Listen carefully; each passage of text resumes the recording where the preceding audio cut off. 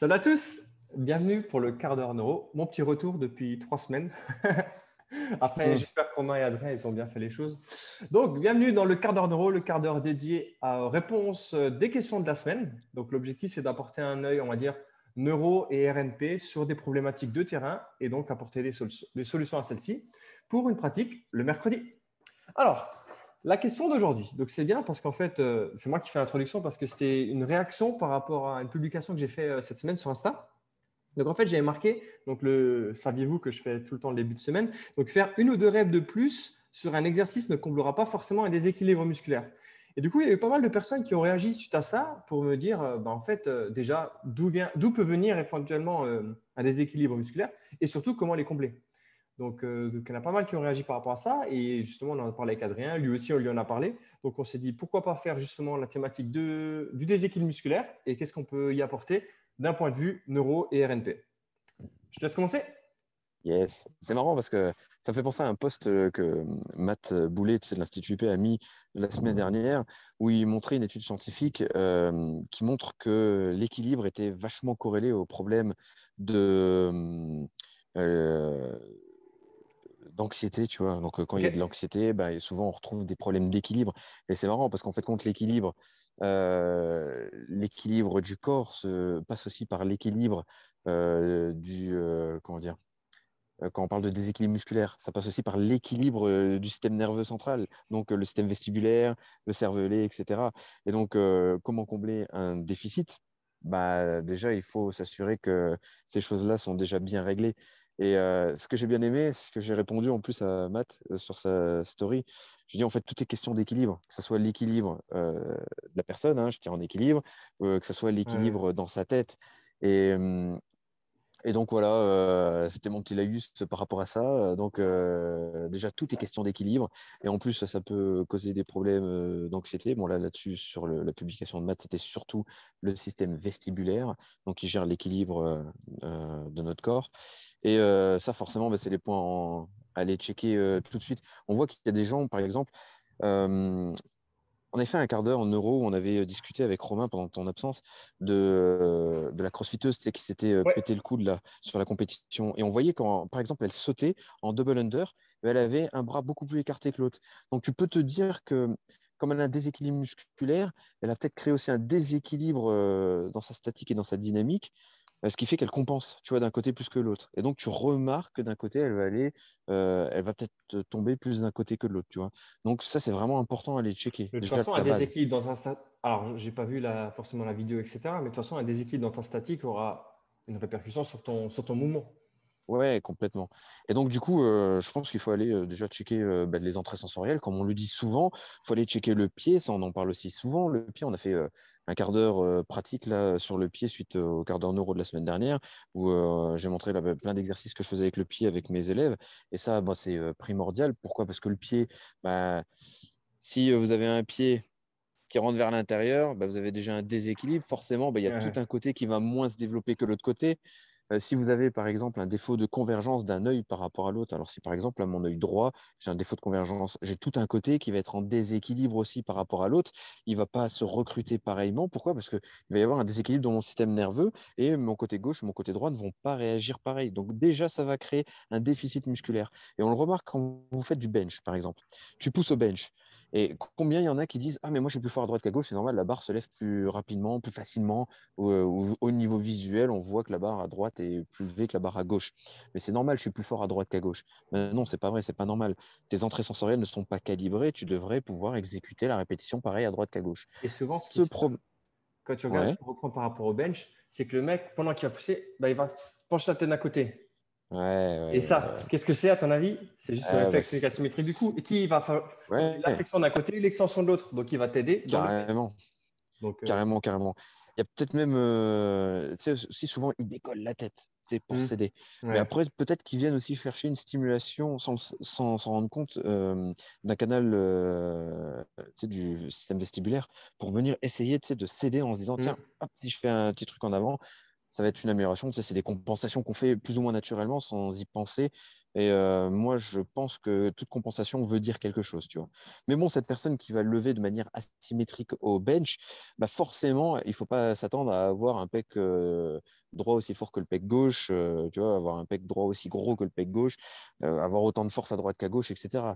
Forcément, il faut aller checker, bah là, ces entrées, ça peut être quoi? Ça peut être l'œil, la main, toutes les entrées sensorielles, les réflexes archaïques, desquels on parle en permanence c'est bien, tu as bien dit. Qu'est-ce que je dis après ça? Non. J'ai encore d'autres choses à dire. Hein, non, non, non, mais c'est vrai. Après, tu vois, il y a, ça peut paraître compliqué, mais en même temps, c'est très simple. C'est ce qu'on explique dans la formation. C'est le premier module, la première capsule vidéo. Dans l'introduction, on explique comment le mouvement se fait. Mm. Donc, il y a trois étapes, on va dire. La première, c'est la prise d'information, l'input. L'interprétation, la prise de décision, deuxième étape. Et la troisième, c'est l'output, c'est le mouvement. Donc, tous tes équilibres musculaires, il viendra dans, lors du mouvement. Donc, c'est que de la troisième étape. Donc, si c'est de la troisième étape, bah, regarde l'étape 2, l'interprétation et la prise de décision. Et en étape 1, l'input, la qualité des informations sensorielles, c'est ce que tu disais. Ça sera toujours ça. Après, euh, là où ce que je voulais dire un petit peu aussi par rapport à mon poste, et c'est ce qui a fait suite sur les vidéos qui, ont suivi, c'est que euh, euh, dans, justement dans, cette deuxième étape, la prise de décision et l'interprétation, bon, on en a déjà parlé, hein, la fameuse, au niveau du tronc cérébral, il y a une zone qui fait que ça décusse. Ça veut dire quoi? C'est-à-dire qu'à un moment donné, il y a des gens qui vont faire tout le temps, ils vont commencer la série. Donc, euh, on va peut-être prendre par exemple sur un biceps, ce sera peut-être plus parlant que le développé couché qui est bilatéral. Sur le biceps, la personne, elle va faire quoi? En plus, les biceps, c'est cool. le biceps, il va faire quoi? Il va dire en unilatéral, par exemple, n'importe quoi. Hein. il va d'abord faire le côté droit parce qu'il est plus faible à droite. Donc, tu veux d'abord comment faire à droite et après à gauche. D'accord? Il dit, ouais, je suis un peu plus frais, donc je vais faire là. Ou alors, ce qu'il va faire, c'est qu'il va faire une série à droite, une série à gauche, une série à droite, une série à gauche, et il va refinir par une série droite. Il va faire une série supplémentaire. Sauf qu'à un moment donné, si cette partie du tronc cérébral qui est immature, bah en fait, ce serait plutôt l'inverse. C'est-à-dire que pour potentialiser euh, le côté droite, il faudrait que tu travailles le côté gauche. Alors, le biceps curl ne sera pas forcément de ce type-là, mais par des exercices autres, de l'isométrie ou des choses comme ça, qui vont venir, venir non pas travailler d'un point de vue structurel, mais d'un point de vue neuro. Mais encore une fois, c'est le cerveau qui va commander ton muscle pour se contracter, pour, faire, euh, pour créer cette harmonie et cet équilibre. Mm. On a, de manière euh, schématique, on a un cerveau gauche qui va contrôler le côté droit du corps et un cerveau droit qui va contrôler le côté euh, gauche du corps. Donc, c'est en, en contrôle latéral. Donc, à un moment donné, ce qu'on veut dire par là, c'est que tu as un truc qui gère à gauche et un truc qui gère à droite. Si tu as un déséquilibre entre les deux, ben forcément, il y aura un déséquilibre qui va être mis dans le mouvement. Donc, c'est aussi simple que ça. Après, à toi de savoir, euh, euh, bien choisir avant même l'exercice, c'est quel côté il faut que je travaille. Yes. Moi, je pense que le, toujours cette phase de bilan est importante. Aller chercher le pourquoi euh, on est plus fort à droite qu'à gauche, par exemple. Tu vas avoir un développé couché donc qui va être asymétrique. Aller chercher ben, la cause. Peut-être que ça va être l'œil, peut-être que ça va être la mâchoire, peut-être que ça va être euh, un problème sensoriel au niveau de la main, j'en sais rien. Il faut aller chercher le truc. Donc, on va faire par exemple un testing, on va travailler quelque chose au niveau, je sais pas, on va travailler les yeux et on va voir est-ce que ça améliore tout de suite? Est-ce qu'on va travailler le système vestibulaire Est-ce que ça va améliorer tout de suite? Si c'est le réflexe tonique asymétrique, du coup, comme tu disais, mmh. on va venir faire un petit exercice là. Euh, euh, de réflexe archaïque, boum, on va voir, ça match tout de suite, ok. Donc là, on a notre réponse, ok? On a fait un exercice, on a une réponse. À la prochaine série, si ce n'était pas la bonne réponse, bah, tant pis, on essaie un autre exercice, on a une autre réponse. Si maintenant on voit une amélioration, moi, ce que j'aime bien faire maintenant, c'est quand même du travail de réintégration immédiat. Ça veut dire, on fait un exercice neuro, et tout de suite derrière, on va faire euh, l'exercice avec une stimulation neuro. Donc, par exemple, pour le développer couché, bah, ça serait euh, stimuler le système nerveux en euh, faisant immédiatement après cette correction euh, un travail isométrique. Tu vois bien. Donc, on vient travailler de manière isométrique pour vraiment matcher au niveau du cerveau là-dessus. Et puis après, peut-être essayer de corriger le mouvement de manière contrôlée tu sais, avec des tempos d'exécution et quelqu'un qui surveille ta barre, ok, ok, ok, ok, pour que vraiment l'information, ben, elle s'engramme le plus possible. Tu vois Donc, on essaye de vraiment de rentrer par les sphères euh, neurologiques, puis après biomécaniques, euh, cette, information euh, au niveau du cerveau. C'est marrant parce que là, tout ce que tu as dit, il y a plein d'idées qui me sont tout, tout, tout. Et en fait, moi, il y, a, surtout deux choses que je vais retenir. C'est déjà, bon, on a choisi, tu as choisi l'exemple du bench. Ce qu'il ne faut pas oublier de dire, c'est que le bench, c'est un exercice, donc comme le squat, hein, c'est qui va être euh, bilatéral. C'est que euh, le bilatéral s'acquiert Et euh, de manière naturelle, on n'est pas bilatéral, on, est, mm. on a un côté puis l'autre. Et en fait, il faut que tu aies un système qui soit optimisé, qui te permette d'aller sur du bilatéral, comme le squat ou le développé couché. Ça, c'est déjà la première mm. chose. C'est déjà la pertinence du bench ou du squat ou du n'importe quoi sur du bilatéral. Déjà la pertinence de ça. Ensuite, la deuxième chose, c'est ce, que tu disais, ce que tu faisais par rapport à l'isométrie. Euh, on, se focalise beaucoup dans, l'entraînement, donc que ce soit euh, les régimes de contraction, l'isométrie, donc les différentes formes, l'excentrique, le concentrique, etc., sur euh, l'impact, on va dire, métabolique et, structurel que ça peut avoir.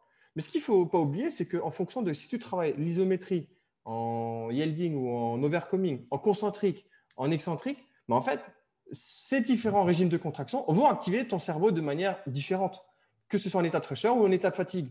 Donc, à toi aussi d'utiliser justement, et là, ce que tu fais bien par rapport à l'isométrie, l'isométrie, c'est probablement une des premières formes d'un point de vue sécuritaire pour ton cerveau. Donc, utiliser ça, c'est sécuritaire pour toi et ça peut recréer, recréer on va dire, cette, euh, ce drive neuronal pour créer cette connexion. Surtout si tu viens chercher vraiment le moment de bascule, tu sais, le, moment où tout change. Tu vois, c'est comme quand tu as une douleur, euh, pas venir travailler sur la grosse douleur, mais juste venir stimuler un peu pour dire, ah, mais en fait, c'est peut-être safe, tu vois ce que je fais, c'est cool.